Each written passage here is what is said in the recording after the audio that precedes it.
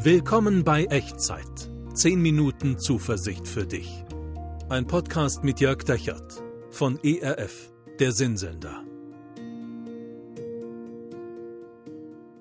Hallo und herzlich willkommen bei Echtzeit. Mein Name ist Jörg Dechert und hier sind wieder 10 Minuten Zuversicht für dich. Wie lebt man eigentlich ein gutes Leben? Ich weiß nicht, ob du regelmäßig Echtzeit hörst oder siehst und die Frage noch hören kannst. Wir haben schon vier Folgen mit dieser Frage verbracht, aber es ist auch ein großes Fass, es ist auch ein großes Thema und ich glaube, es lohnt sich, das mal gründlich zu durchdenken und da steckt auch eine Menge Ermutigung drin, weiterzugehen, weiterzuleben, weiter zu hoffen, weiter zu glauben. Heute das vorletzte Mal. Und wenn du von den ersten vier Folgen welche verpasst hast, dann lade ich dich ein, eine der oder die Folgen, die du verpasst hast, nochmal anzuhören, anzuschauen, ähm, damit du so an Bord kommst und so auf Stand bist. Also zur Erinnerung, wir haben darüber gesprochen, Folge 1, gutes Leben kann man lernen. Folge 2, wer dich begleitet, bestimmt deinen Weg. Folge 3, wer hilft dir eigentlich, die richtigen Weichen zu stellen unterwegs. Folge 4, warum gutes Leben lebenslanges Lernen bedeutet. In all diesen Folgen haben wir versucht zu lernen vom alttestamentlichen König Salomo, der, der sich von Gott eine extra Portion Weisheit gewünscht hat und auch bekommen hat. Und das hat er aufschreiben lassen für seine Nachkommen. Und heute schauen wir ein vorletztes Mal rein ins Buch der Sprüche im Alten Testament, Teil 5. Wer anderen Gutes will, ist Gottes Freund. Anderen Gutes wollen, das ist ja nichts, was unsere Gesellschaft einem unbedingt beibringt. Ähm, weiß nicht, was du so für Sätze gehört hast in deiner Erziehung oder äh, so im Kollegenkreis, im Freundeskreis. Da sagt man schon mal schnell, hey, du musst sehen, wo du bleibst. Setz dich durch, setz mal deine Ellenbogen ein. Oder es gab mal einen Buchtitel, Brave Mädchen kommen in den Himmel, alle äh, andere Mädchen überall hin. Und nein, heute geht es mir nicht um einen Appell, sei gefälligst schiedlich, friedlich, niedlich, sondern es geht um ein bewusstes, entschiedenes, kraftvolles, souveränes Wohlwollen für andere Menschen. Und was das damit zu tun hat, selbst ein gutes Leben zu führen und es auch gut zu finden, das schauen wir uns jetzt mal an. Aber vielleicht der Reihe nach, ich lese dir erstmal vor, was im Buch der Sprüche dazu steht. Kapitel 3, Verse 27 bis 32. Ich lese dir es vor. Weigere dich nicht, dem Bedürftigen Gutes zu tun, wenn deine Hand es vermag. Sprich nicht zu deinem Nächsten, geh hin und komm wieder, morgen will ich dir geben, wenn du es doch hast. Trachte nicht nach Bösem gegen deinen Nächsten, der arglos bei dir wohnt. Geh nicht mutwillig mit jemandem mit jemand vor Gericht, wenn er dir kein Leid getan hat. Sei nicht neidisch auf den Gewalttätigen und erwähle keinen seiner Wege, denn wer auf Abwägen geht, ist dem Herrn ein Greuel, aber den Aufrechten ist der Freund. Sag mal, Frage, würdest du dich als wohlwollend bezeichnen? Würde deine Familie, deine Freunde, deine Nachbarn dich als wohlwollend bezeichnen? Hm. Gegenfrage, würdest du dich als feindselig bezeichnen? Als jemand, der seinen Mitmenschen schaden will? Wohl ganz sicher nicht, oder? Ich glaube, da sind wir alle sehr schnell und sehr klar und sehr sicher. Die meisten Menschen würden sehr entschieden Nein sagen und ich glaube tatsächlich, die wenigsten Menschen auf diesem Planeten stehen morgens auf und beschließen, ihren Mitmenschen das Leben zur Hölle zu machen und anderen aktiv Schaden zuzufügen.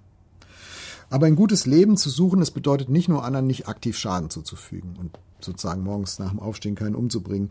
Gutes Leben, das fängt schon viel früher an im Verhältnis zu unseren Mitmenschen. Und für Salomo fing es da an, bei dem, wovon er jede Menge hatte, Geld. Vers 27. Weigere dich nicht, dem Bedürftigen Gutes zu tun, wenn deine Hand es vermag. Sprich nicht zu deinem Nächsten, geh hin und komm wieder, morgen will ich dir geben, wenn du es doch hast. Also die Messlatte hier für ein gutes Handeln, ein gutes Leben ist, wenn deine Hand es vermag, wenn du es doch hast. Niemand verlangt von dir zu teilen, was du nicht hast.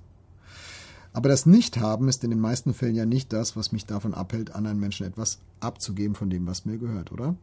Also meistens ist die Hürde doch in mir drin, ein Nicht-Wollen. Manchmal will ich es einfach nicht.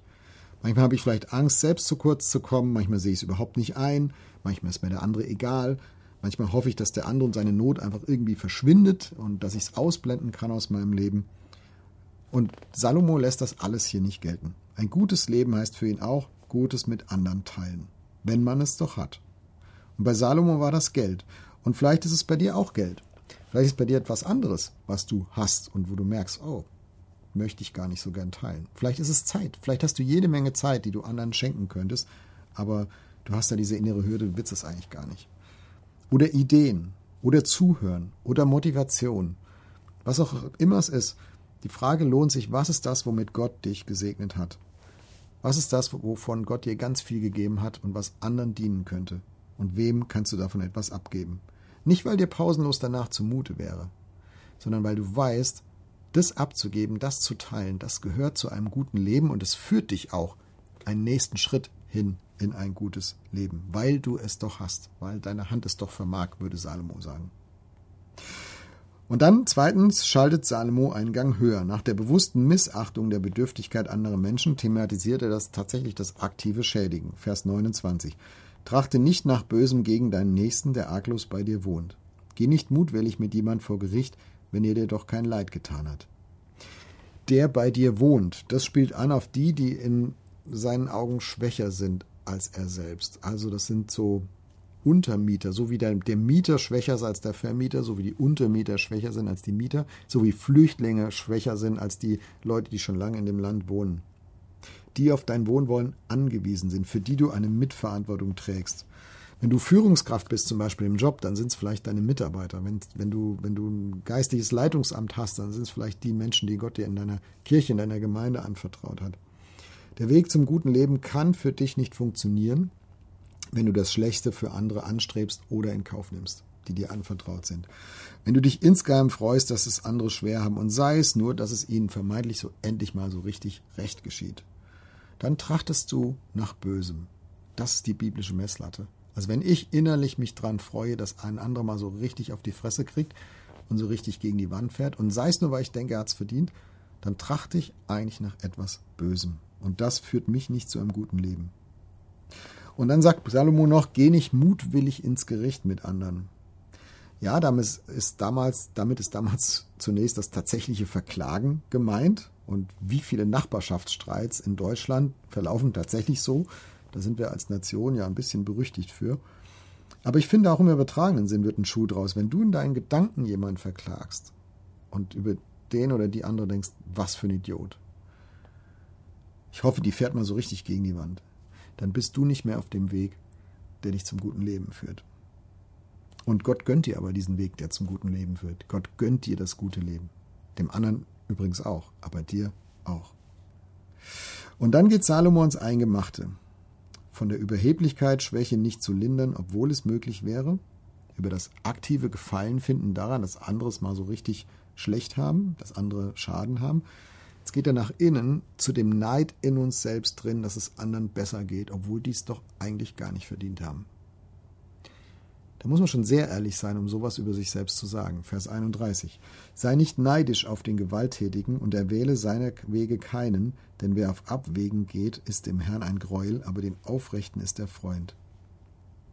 Das Bild oder die, die Wirklichkeit, die, auf die Salomo sich hier bezieht, ist die, ja, in unserer Welt gibt es manchmal und immer wieder die Tatsache, dass die Skrupellosen und die Ruchlosen, die sich einfach nehmen, was sie kriegen können, tatsächlich am schnellsten vorwärts gehen, vorwärts kommen.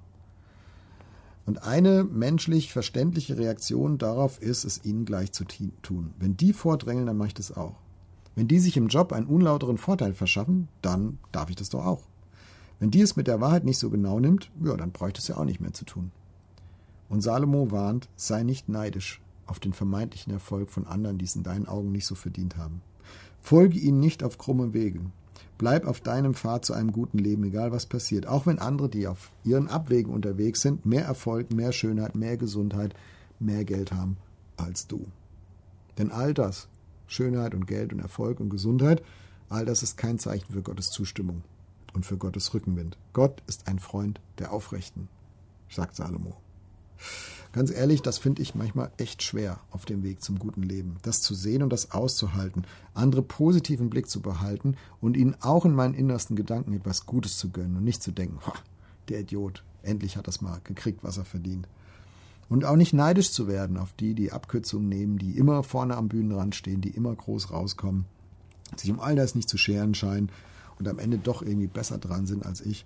Ich finde das manchmal schwer auszuhalten. Aber ich kann von Salomo lernen, dass es das wert ist, das aushalten zu lernen. Ich kann von Salomo wahres Wohlwollen für andere lernen. Denn Gott ist ein Freund der Aufrechten. Willst du es mit mir lernen? Dann bete mit mir. Und mach deine Worte oder mach meine Worte, die du mich sagen hörst, zu deinen, in deinen Gedanken, in deinem Kopf, in deinem Herzen. Und Gott wird es ernst nehmen, wenn du es ernst meinst. Wir beten.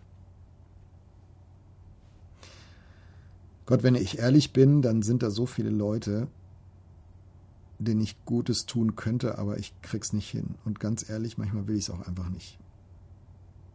Und dann sind da Leute, mit denen ich ungeduldig bin, auf die ich herabsehe, die ich kritisiere, die ich verachte, wenn ich ehrlich bin.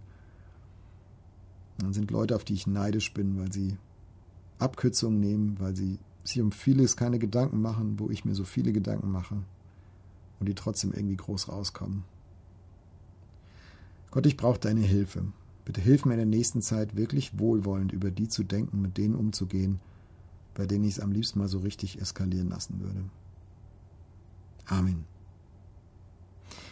Hey, wie geht's dir mit diesem Thema Wohlwollen für andere? Wie lebst du das? Wie erlebst du das? Und wo stößt du auch gegen deine Grenzen? Wo hat dir diese Echtzeitfolge vielleicht neu Mut gemacht, da was zu wagen, einen Schritt weiterzukommen auf dem Weg zum guten Leben? Schreib mir das gerne unten in die Kommentare oder per E-Mail an echtzeit.erf.de. Ich freue mich drauf, von dir zu hören. Und ich möchte es gerne mitgeben in die nächste Zeit, ganz kurz, ganz simpel, ganz knapp.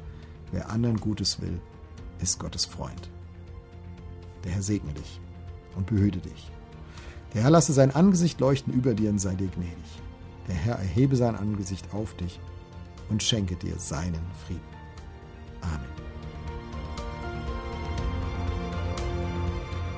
Das war Echtzeit. 10 Minuten Zuversicht für dich.